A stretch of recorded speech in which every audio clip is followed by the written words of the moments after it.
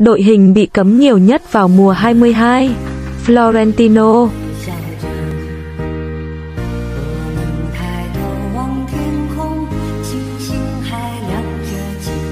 Ngộ không?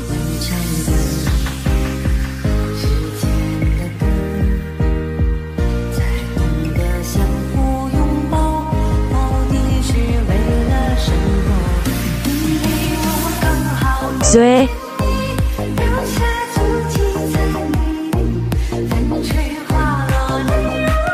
Yon.